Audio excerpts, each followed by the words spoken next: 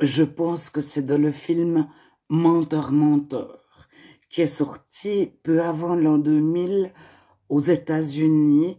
Donc c'est l'histoire d'un avocat qui ment et son fils fait un vœu que son père ne mente pas pendant 24 heures. Donc le fils est un tout petit garçon et il souffle ses bougies, que papa ne mente pas pendant 24 heures. Et tout le film démontre que l'avocat n'a qu'un but, c'est gagner. Coûte que coûte. Et je pose que c'est dans ce film qu'on apprend que le cambrioleur qui s'introduirait par une fenêtre chez quelqu'un et qui se coupe avec un couteau, la planche à pain est restée au milieu de la table et en sautant de la fenêtre, il se coupe avec le couteau à pain resté sur la table avec la planche à pain et il peut faire un procès parce qu'il s'est coupé en tant que cambrioleur en, entrant dans la maison. Je crois que c'est dans ce film que j'ai entendu ça. Mais enfin, ça démontrait l'absurdité des lois à un moment donné, il y avait tellement de lois. Moi, j'ai pas tellement étudié ou réfléchi à ça, mais j'entendais des anecdotes comme ça ici ou là, où une personne avait mis son chat dans le micro-ondes et comme c'était pas écrit sur la notice du micro-ondes, ne mettez pas votre chat dans le micro-ondes, cette personne avait gagné des millions au travers d'un avocat en se retournant contre le fabricant de micro-ondes. Enfin, ça devenait, à un moment donné, les notices, des, les modes d'emploi devaient mettre tellement, tellement, tous les cas possibles par avance. Et c'était aussi l'époque où il y a eu des lois sur la défense, la protection des femmes sur les lieux de travail. Et à un moment donné, si un homme voyait entrer une femme qui était toujours au pantalon, toujours en jeans, mal coiffée, sans maquillage, qu'elle entrait avec une jolie robe, s'il lui disait mais quelle jolie robe vous avez, il risquait d'être ennuyé par un tribunal. Et il y a eu tellement de lois pour la protection des femmes qu'à un moment donné, les hommes ne savaient plus s'ils pouvaient lui dire « c'est la pause, je t'offre un café ». Et il y a eu un retour de manivelle à un moment donné, euh, même s'il y a des lois, euh, s'ils ont un ami dans un tribunal ou comme ça, ils, ne souhaitaient plus euh, être tellement conditionnés à ne plus pouvoir rien dire. Alors, il y avait des choses très justifiées. C'est pour dire que une loi n'est jamais parfaite. Et elle peut toujours être contournée. Et à un moment donné, c'est en Amérique, il y a eu des avocats qui avaient pour but de gagner. Et, ils prennent une affaire, c'est très différent que dans mon pays, la Suisse par exemple, si ils ont la possibilité de gagner. Un bon avocat va défendre quelqu'un en fonction des millions qu'il pourra prendre parce que il aura pu faire que son client se retourne contre X ou Z, etc. Alors, je ne dis pas que tout le système est corrompu, mais j'ai eu connaissance comme ça de, de trois anecdotes. Alors, en l'an 2000, je ne m'intéressais pas tellement. J'avais de nombreuses occupations et j'entendais ça de loin. Mais je voulais juste dire que dans l'histoire, le chrétien aime. L'homme chrétien aime. Et si il est dans un contexte machiste où la femme est rabaissée, où on humilie les femmes, il a reçu de Dieu l'amour de Dieu pour les femmes. Alors, bien sûr que si il est né dans un contexte où la femme est méprisée. Il a lu des études très scientifiques que le cerveau de la femme devant la mécanique, devant les mathématiques est beaucoup moins performant que le cerveau de l'homme. C'est très scientifique, etc., etc. Il a lu des, études euh, que la femme, lorsqu'elle a ses règles, elle, est émotive, lorsqu'elle est enceinte, elle est émotive. Donc il il est imprégné de son environnement il ne peut pas vivre sur une autre planète. Mais il a, il est aimé de Dieu et il aura un comportement d'amour envers les femmes bien plus que les hommes qui l'entourent. Alors, si il a grandi dans un environnement féministe, en guillemets, où tous les hommes étaient respectueux des femmes de son environnement et que les études sur le, cerveau des femmes qui ont été... Euh, il a été démontré qu'elles avaient des capacités intellectuelles, etc., identiques à, à celles des hommes, etc.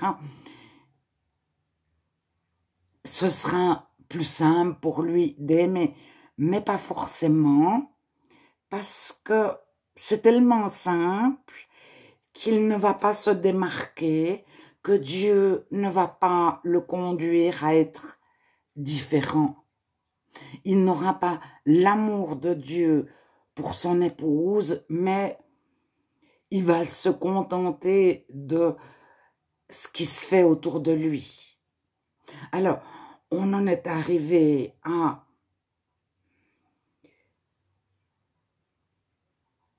Donc j'en étais aux, personnes qui ne choisissaient pas leur conjoint et qui parfois étaient amoureuses de quelqu'un et elles ne pouvaient pas le marier. Les femmes ne pouvaient pas marier l'homme qu'elles aimaient. Alors l'homme qu'elles aimaient, peut-être qu'elles l'avaient vu quelquefois, c'était des projections et elles, elles idéalisaient, c'était le conte de fées et plus leur situation réelle était difficile, plus elles se disaient si j'avais épousé telle personne, lui au moins, etc. Et elles fantasmaient sur un homme qu'elles avaient à peine connu ou qu'elles rencontraient en cachette. Il y avait toute une quelque chose d'aventureux, de, palpitant, tout, quelque chose elle ne, elle ne vivait pas avec au quotidien. Puis j'ai dit, on a pu marier celui qu'on souhaitait et on a perdu l'illusion du conte de fées parce qu'on s'est retrouvé qu'avec même celui qu'on aimait. Euh, bon, alors, on en est aujourd'hui à retourner à choisir l'homme achetait une fille à son père où deux familles s'accordaient pour marier leurs enfants. Mais souvent, le père et le mari s'entendaient pour, et le, le père vendait sa fille à un homme pour des questions de patrimoine, etc., etc. Et la fille appartenait à l'homme. Et l'homme euh, disposait de cette femme, il en faisait ce qu'il voulait, il choisissait le lieu de vie, etc., etc. La femme n'avait pas tellement son mot à dire. Alors, justement, dans un cas comme ça, le chrétien réel donnait beaucoup plus de considération à sa femme. Il aimait sa femme de l'amour de Dieu. Alors, maintenant, on en revient où l'homme, ah, il, se retrouve avec un être humain de son niveau. C'est-à-dire que il doit la conquérir, lui prouver qu'il est quelqu'un de bien, etc., etc. Je parle il y a quelques années. Euh, pour pouvoir l'épouser, il doit lui démontrer que, etc., etc. Et pour pouvoir rester marié, il, doit être un mari convenable, parce que sinon, s'il fait trop d'erreurs, sa femme part. Donc, à un moment donné, bon, trop d'erreurs. Tout, tout, est relatif à quelque chose. Mais si sa femme n'est pas d'accord avec lui, elle peut partir du jour au lendemain. Alors actuellement, les hommes n'achètent plus une femme à leur père, ils vont sur Internet, ils trouvent une fille parfois cultivée qui est étudiante, qui a un certain âge, qui sait parler en société et ils vont la prendre pour un week-end comme agrément du week-end. Et c'est eux qui décident d'à peu près tout. Et puis, si la fille met trop de limites, oh non, ça, je suis pas d'accord, non, oui, alors, euh, je suis d'accord avec ça, ça coûte tant, etc. Ils vont trouver quelqu'un de moins cher, quelqu'un qui ne posera pas telle limite, etc., etc. Donc, c'est plus l'homme qui achète une fille à son père, mais il va sur Internet, il y a tous les cas de figure possibles. Et si euh, en France ou aux USA, il y a la loi 1, 2, 3, 4, 5, 6, il fait un petit voyage, je dis aux Bahamas pour dire quelque chose, je ne connais pas les lois des, du Bahamas à ce sujet. Ben, tout ce qu'il ne peut pas faire en Suisse, aux, USA ou en France, il le fera aux Bahamas. Donc, on, c'est fini le féminisme. On en est au dernier soubresaut où il y a les dernières mais à un moment donné, les hommes ont commencé de se protéger depuis plusieurs années de se dire je ne veux pas arriver sur le devant de la scène parce que j'ai offert un café à ma collègue de travail. Parce qu'à un moment donné, euh, il y avait tellement de lois aux USA que c'était les, hommes ne savaient pas si, ils, pouvaient regarder une femme et lui faire un sourire puis lui dire bonjour comment vas-tu? As-tu passé un bon week-end Alors, bon, j'ai entendu deux, trois anecdotes, mais il y a eu deux, trois anecdotes. Mais à un moment donné, euh, au niveau des systèmes qui font les lois, des systèmes juridiques, des avocats, etc., euh, il a un ami qui a aussi été ennuyé parce que il a une fois un peu dragué sa collègue de travail avec élégance et puis, il s'est retrouvé, parce que la collègue de travail, elle a mis en place le système judiciaire, c'est point 1, point 2, point 3. Donc, à un moment donné, les hommes commencent à se défendre. Donc, c'est pour dire, maintenant, il y a une affaire. Je ne vais pas en parler d'une affaire. Je, je viens d'écouter sur Internet une affaire. Tout le monde en parle mais, mais ça, ça demande beaucoup d'affaires. Et ce que je voulais dire, je, je réfléchis parce que c'est tout spontané, j'aurais dû écrire un petit peu. Euh,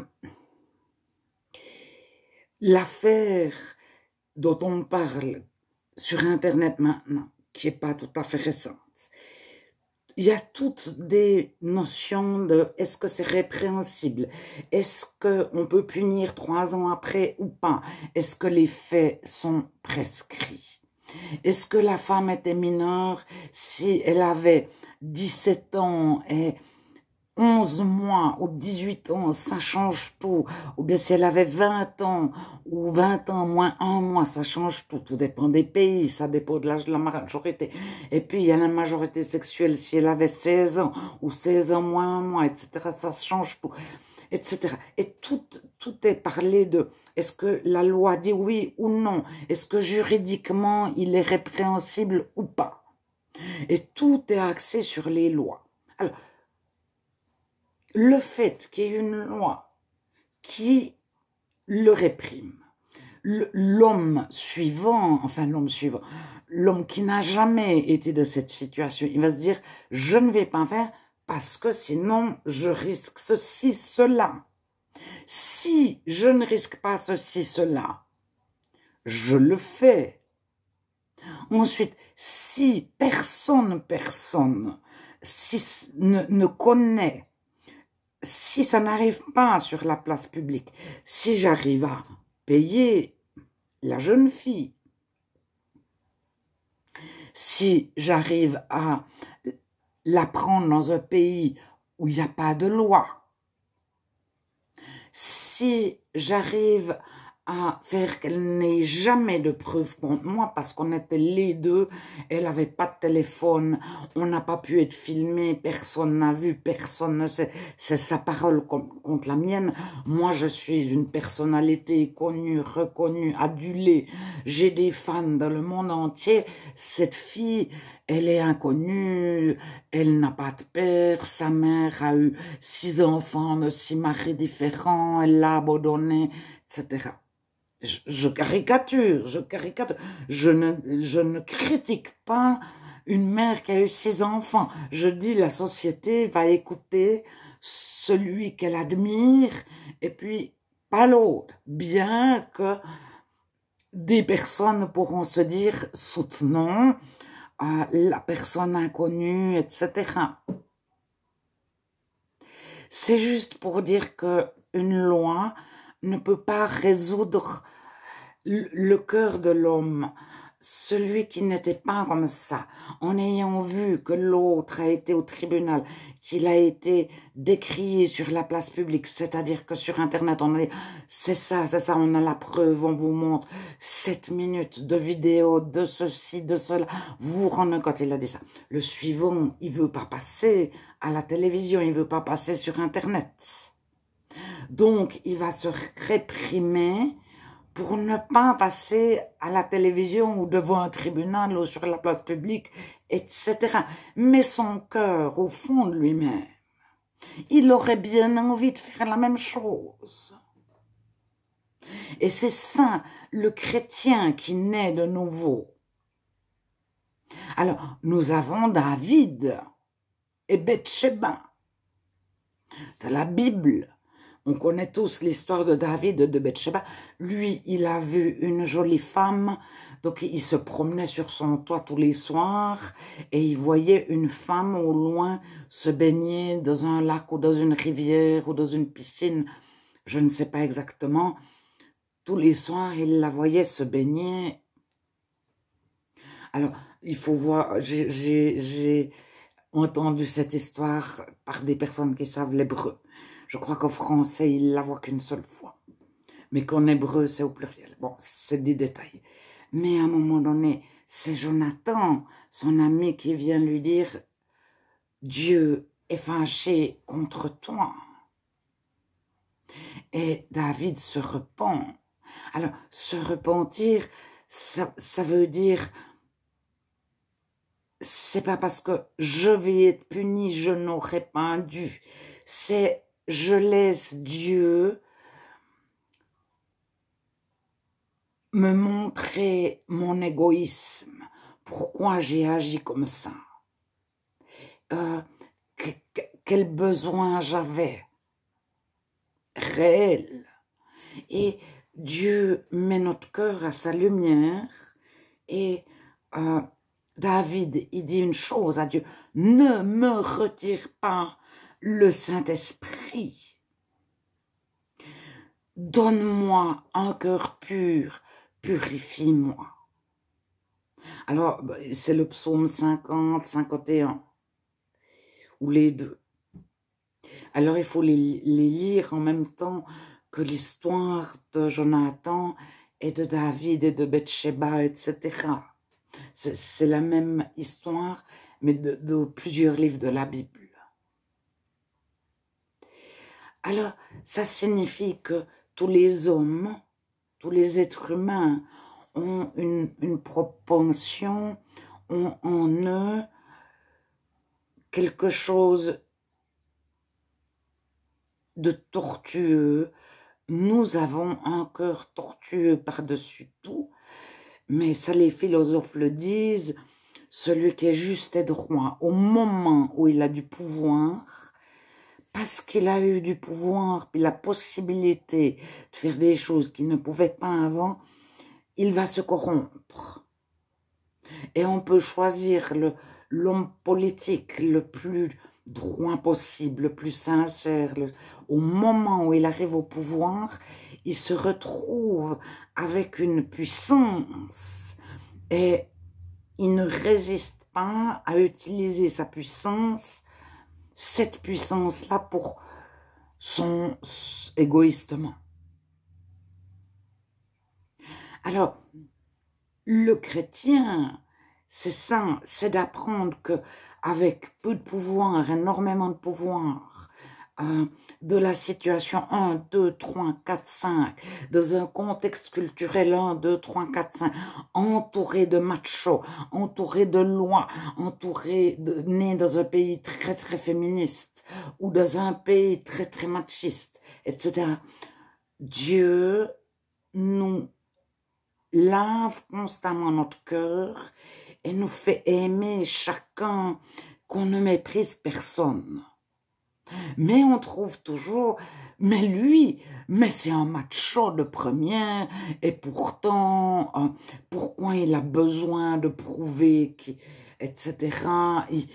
C'est un faible, on, a des, des constructions de pensée, de, on a reçu de notre culture, et on a en nous-mêmes, au moment où on a la possibilité d'être aimer ou d'être, de garder notre place, même si on fait n'importe quoi.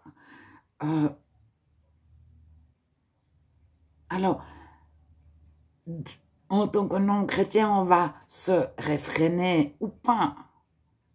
En tant que chrétien, Dieu va nous réfréner. Il n'y a pas ou pas? Et Donner notre vie entière à Dieu, c'est faire de Dieu notre guide et il nous apprend, je te donne ma joie, tu n'as pas besoin d'être puissant pour avoir ma joie. Tu n'as pas besoin de monter d'adrénaline pour être dans ma paix et dans ma joie. Donc on reçoit la maison, le paradigme complet de Dieu le jour de notre nouvelle naissance. On reçoit le Saint-Esprit en totalité. On connaît tout, mais on, on est comme les petits-enfants. Les petits-enfants, ils ont des yeux. À trois ans, si on leur parle leurs yeux, ils n'avaient jamais réfléchi qu'ils avaient des yeux pour voir. Quoique tout petit, des fois, ils, ont des réactions, euh, ils, ont conscience quand même d'avoir des yeux pour voir, ils font coucou, on ferme les yeux, etc. Mais j'entends, ils, découvrent des possibilités qu'ils ont déjà. Petit enfant. Et mais le nouveau converti, il découvre des possibilités qu'il a déjà le jour de sa nouvelle naissance. Mais alors Dieu m'a tout pardonné, il m'aime comme je suis. Il me demande de pardonner à tous et d'aimer chacun. Chacun est une créature extraordinaire de Dieu. Euh, ça ne dépend pas de son âge, de son milieu, de sa condition, de son handicap, de ses possibilités, de ses capacités, de son intelligence, de sa famille, de, de sa couleur de peau, etc. Alors, la Bible dit, il n'y a plus ni juif ni grec, mais il y a toujours des personnes blanches, plus ou moins blanches, plus ou moins noires, c'est-à-dire brunes, etc.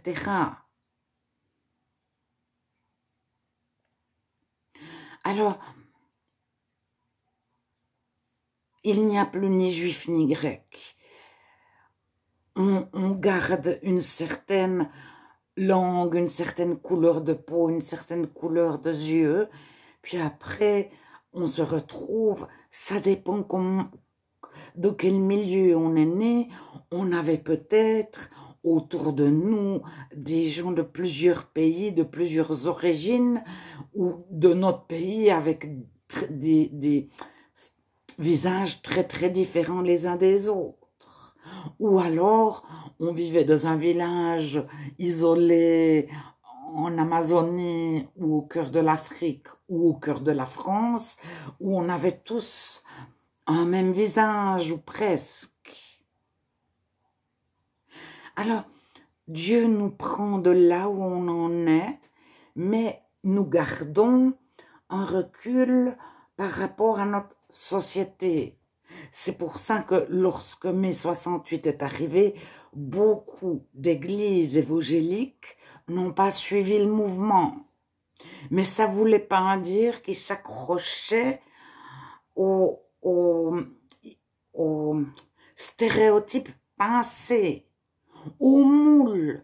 Ils, ils n'avaient jamais fait partie du moule d'avant mai 68.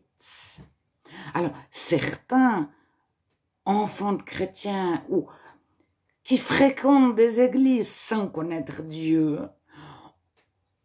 veulent des traditions et s'accrochent parce que c'est leur sécurité. Ils n'ont pas mis leur sécurité en Dieu. Leur sécurité, c'est euh, leur environnement.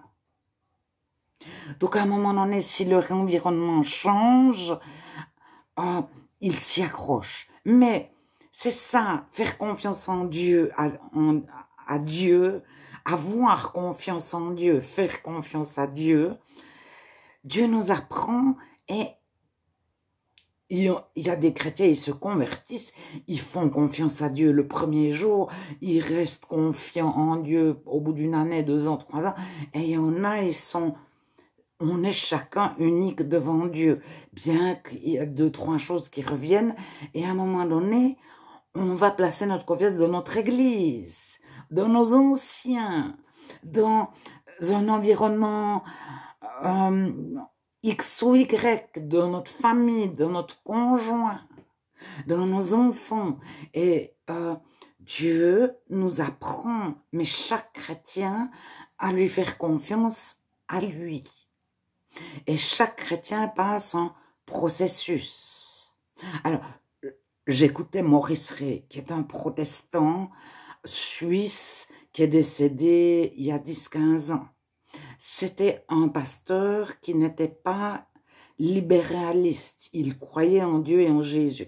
Et lorsqu'il parle des femmes, il est persuadé que les femmes sont émotives, beaucoup plus émotives que les hommes. Et, mais il, est, il a grandi dans un tel contexte et il en est persuadé. Et à un moment donné, s'il parle avec une femme, euh, même si elle a des yeux comme lui, des oreilles comme lui, enfin une capacité de vue, une capacité d'ouïe, une capacité de compréhension, il peut, il peut douter, etc. comme lui, si sur trois ans, elle pleure une fois, il va s'en souvenir et le mettre en exergue, en évidence. Il va en faire. Mais bien sûr, j'avais raison, les femmes sont plus émotives que les hommes. Alors, j'ai pris exprès cet exemple parce que Maurice Ray est né, je ne sais pas, en 1920 ou 1930, dans une culture de la culture de nos grands-parents. Mais globalement, lorsqu'on l'écoute,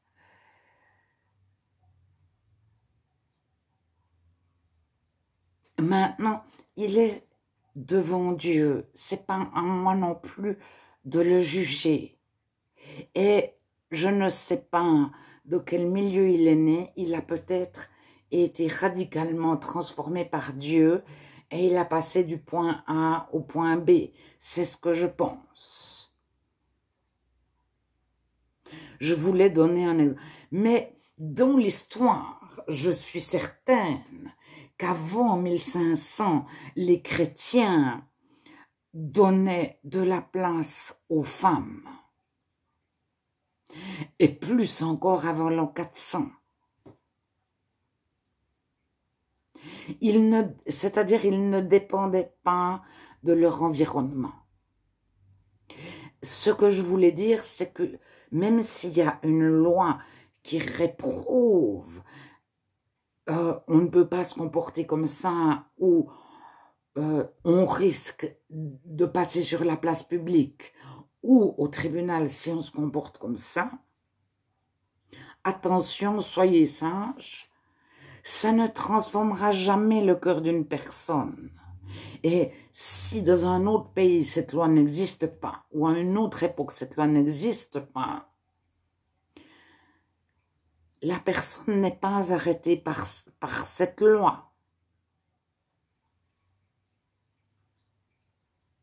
Alors, il y a toutes l'épître aux Galates pour les chrétiens à lire, vous qui mettez votre confiance dans la loi. Placez votre confiance en Dieu. Et Dieu nous guide et nous conduit, et il nous conduit du point A au point B. Et on peut relire l'histoire de David et de Bathsheba. Et c'est Dieu qui arrête David.